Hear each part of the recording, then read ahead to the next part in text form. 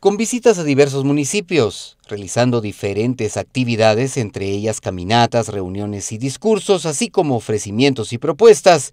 Distintos candidatos realizaron sus cierres de campaña. En esta ocasión se reflejó con más fuerza en las actividades el llamado al voto, que hace cada candidato tomando en cuenta la cercanía de las elecciones. Manuel Conde, presidenciable de Vamos, tuvo el viernes actividades en Sololá y en Antigua Guatemala.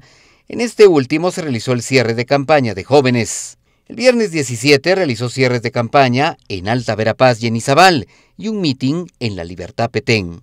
En Izabal, el candidato pidió a la gente no hacer caso al llamado que se está haciendo para anular el voto. Además ofreció que los alcaldes tendrán a tiempo los fondos provenientes del situado constitucional que el Estado les debe depositar y tendrán más recursos en el Consejo de Desarrollo.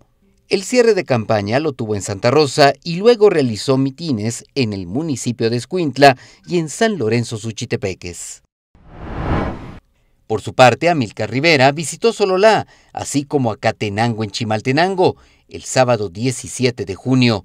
En su cierre de campaña en Sololá, ofreció inversiones para el departamento, para desarrollar el turismo, así como al agricultor.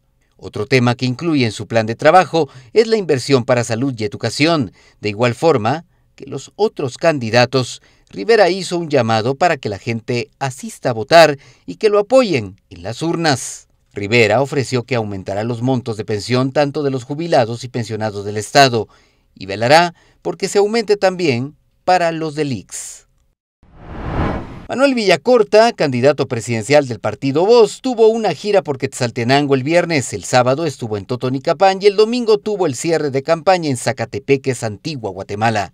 El candidato ha expresado que cree firmemente que las elecciones son una oportunidad para abordar los desafíos del país y hace un llamado a participar en las elecciones y decir no al voto nulo.